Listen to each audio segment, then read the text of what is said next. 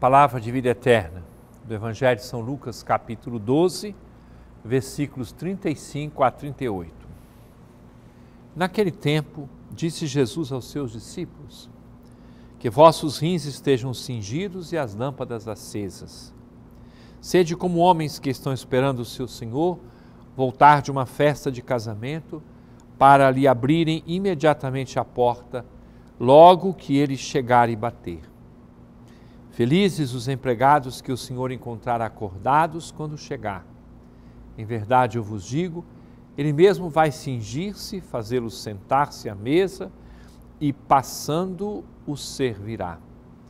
E caso ele chegue à meia-noite ou às três da madrugada, felizes serão se assim os encontrar.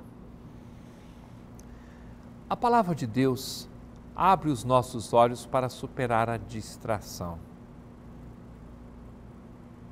Certamente, todos nós já fizemos aquela experiência de andar por uma rua sem prestar atenção no que está acontecendo.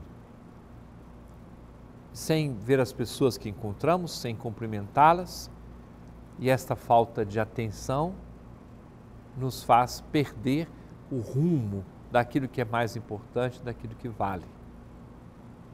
A virtude da vigilância pode levar-nos a sermos pessoas atentas, porque as lições que Deus nos oferece, e pense no dia de hoje, o seu trabalho, a sua vivência na família, na escola, não sei aonde, onde você estiver, pense no grande valor de cada pessoa que passar perto de você.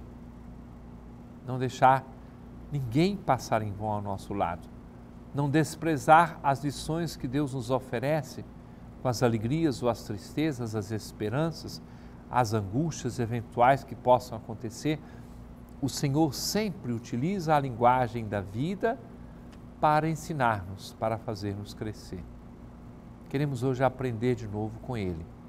Queremos estar mais atentos, superar essa distração e não desprezar as inúmeras lições que Ele põe à nossa disposição no dia a dia.